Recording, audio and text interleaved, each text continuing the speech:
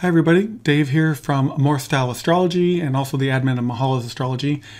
Uh, today I'd like to talk about how I find the upcoming aspects. Um, because normally a lot of people have to look at things like they'll get a calendar, they'll talk about the things that are coming up, and they'll simply look that over. Or if you have astrology software, you might go look at that. Um, but what I found was that it the, th- the tools that were available to me didn't really make sense or they were kind of hard to interpret. So, for instance, I have the Sirius program, and uh, what they have here is they have this thing called the interactive, they have the uh, Astro Clock. The Astro Clock is kind of cool where it shows you, uh, say, a current location, a current time, and you can you can put it into animation. And so here, if you're looking at this closely, you can see that the time over here is changing by minutes. I can advance a little bit faster. I can try to get up to where I'm going by the hours of the days.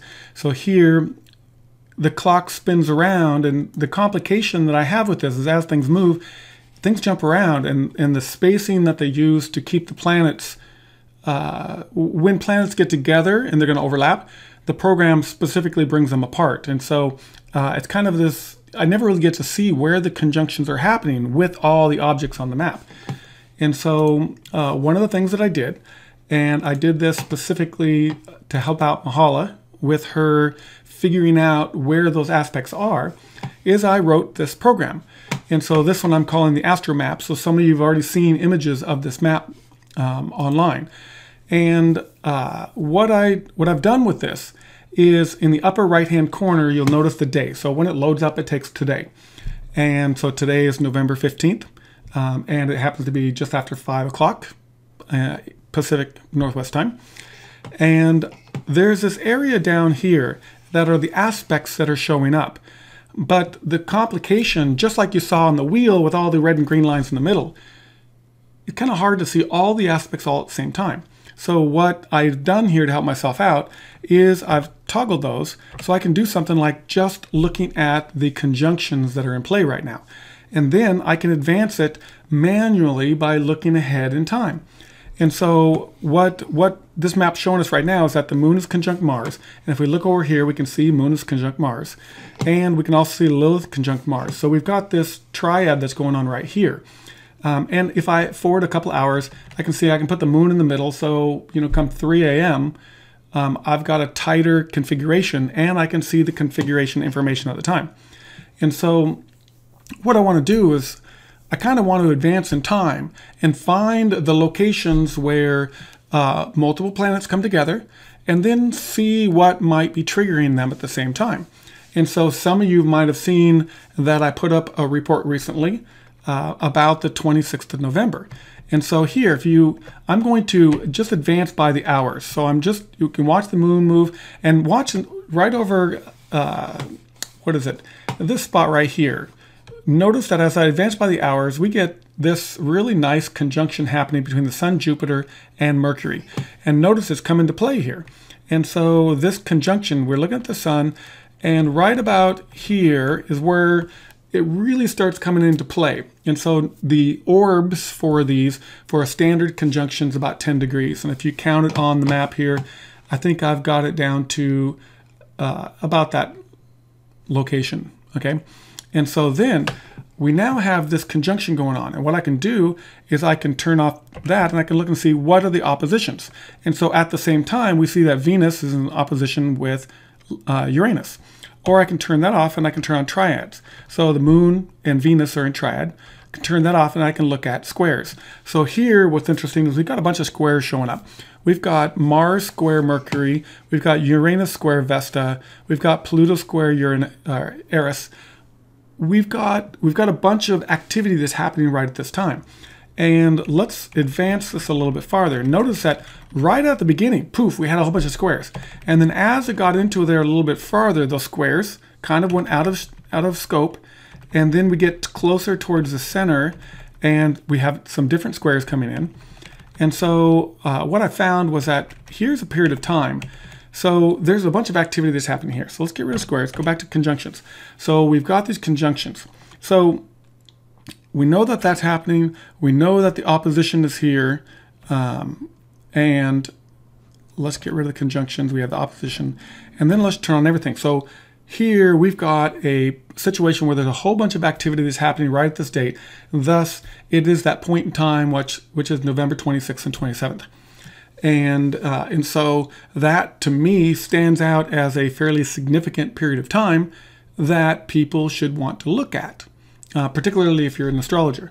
And let's go a little bit farther. Now, now that we know that this is coming up, because this is only uh, 12 days away, let's see if we can uh, take this a little bit further. And so let's go to, let's just look at the map and see what's coming together here. So what I see is we've got a condition right here where Mars and Neptune have come into play and Lilith and Uranus is in play over here.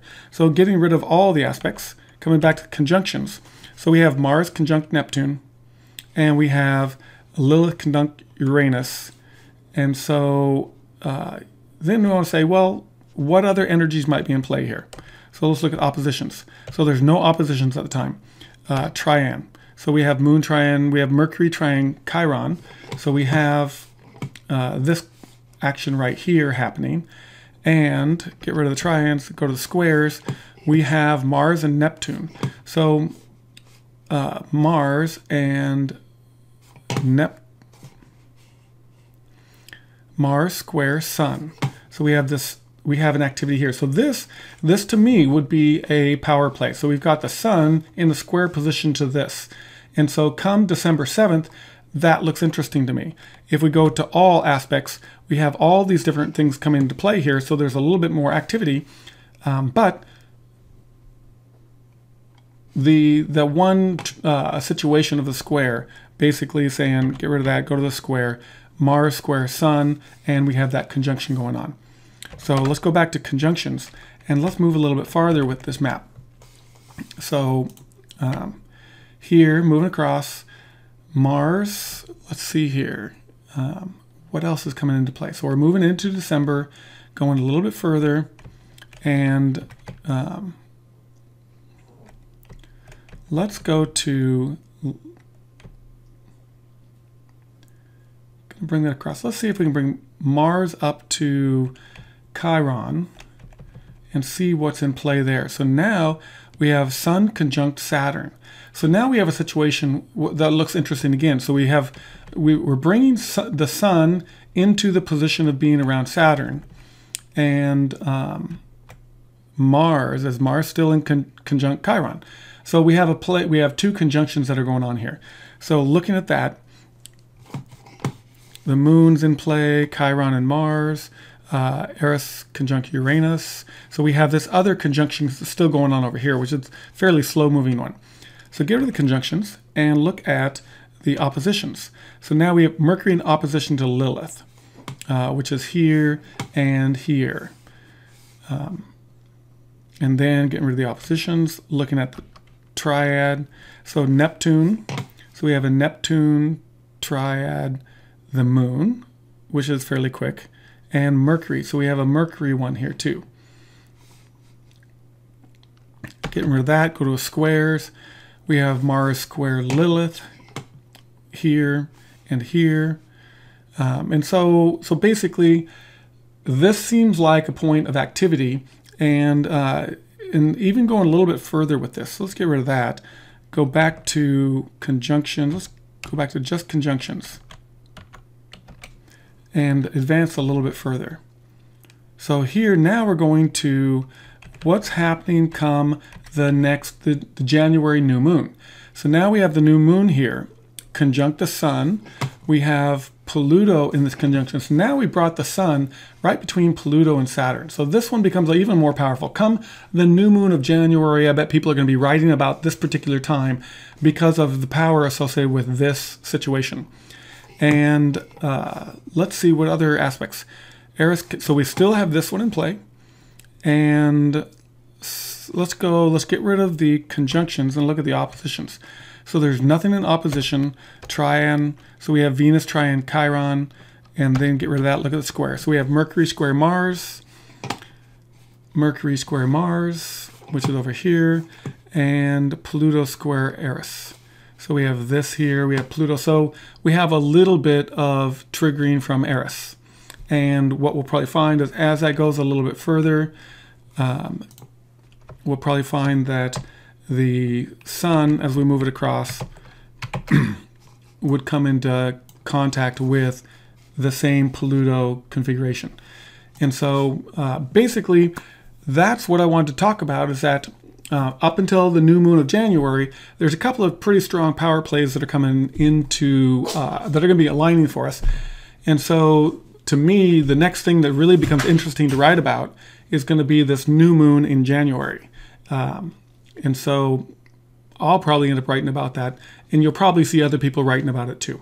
Anyway, I just wanted to share you this with you, and uh, you probably have a better idea of how I use it. So when you see the map, you'll be able to associate um, what I'm doing with what the picture shows.